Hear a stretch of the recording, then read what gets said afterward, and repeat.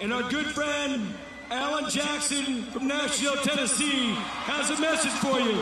Take a look. Hey, Jon, everybody at Stagecoach.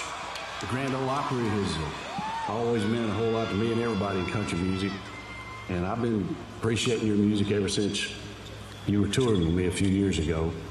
And so I get the honor to invite you in front of all your Stagecoach friends out there to be the first native of California to become an official member of the Grand Ole Opry. So congratulations, Jon. Here's to us with the silver.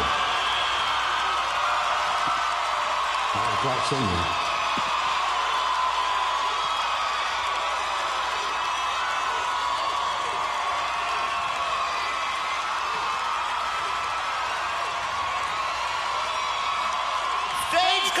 give it